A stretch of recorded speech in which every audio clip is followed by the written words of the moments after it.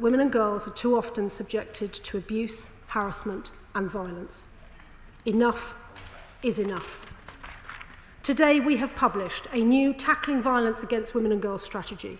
It will build on the progress we have made in recent years. The strategy we have published today sets out action to prioritise prevention, support victims, pursue perpetrators and help make sure the police,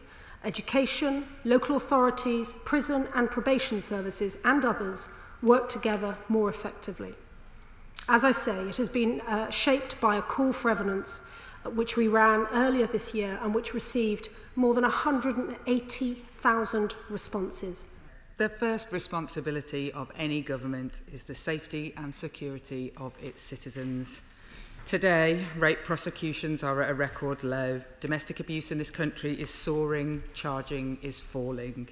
Sexual abuse in school is being normalised, according to the recent Ofsted inspections. Ending violence against women and girls is a cross party issue. On all sides of this House, there is a profound concern and desire for an ambitious strategy that would deliver. Mr. Speaker, the strategy today is not ambitious enough. There are things to welcome, A policing lead on violence against women is certainly one of them. But we already have one for domestic abuse, one for rape and sex offences, another for historic sexual abuse, and one for child sex abuse. So why will this one succeed where others have struggled without the resources to properly tackle the issue?